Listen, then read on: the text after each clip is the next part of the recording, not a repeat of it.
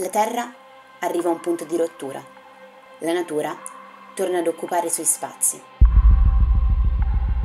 Abbiamo raggiunto un punto di non ritorno e la natura, satura dell'intervento dell'uomo, si riappropria gradualmente della sua dimensione.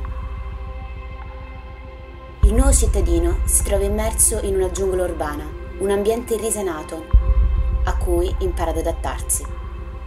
Il progetto è divenuto drammaticamente